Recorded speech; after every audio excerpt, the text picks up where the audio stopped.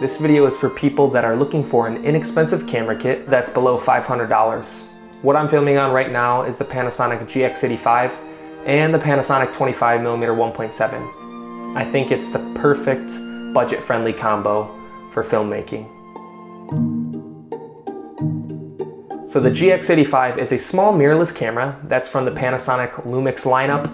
It shoots 4K 24 frames per second, 30 frames per second, and it also does 1080 60 frames per second.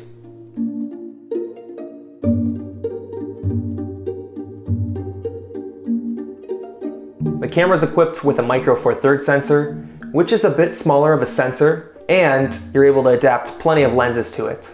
But in this video, I'm gonna be talking about the Panasonic 25mm 1.7. The lens itself is very sharp, one of the sharpest lenses I've ever used, and it's also one of the smallest, most compact lenses that I've ever used.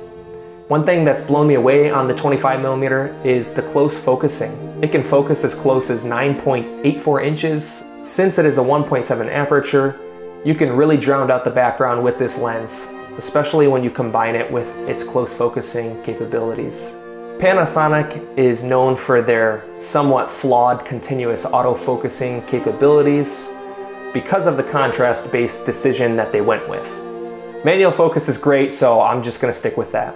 Because of the small and compact size of the lens, you're able to keep both hands under the camera body while pulling focus. This in combination with the GX85's IBIS makes it really easy to stabilize your shot. The 25mm lens has a 46mm filter thread. The great thing about smaller filter threads is that you can always use step-up rings to get your desired filter onto the lens. So right now I'm using a 46 to 58 and then a 58 to 77 millimeter step-up ring. That way I can adapt my variable ND filter.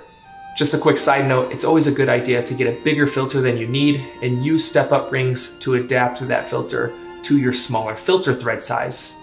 The biggest selling point is the price of both of these pieces of equipment.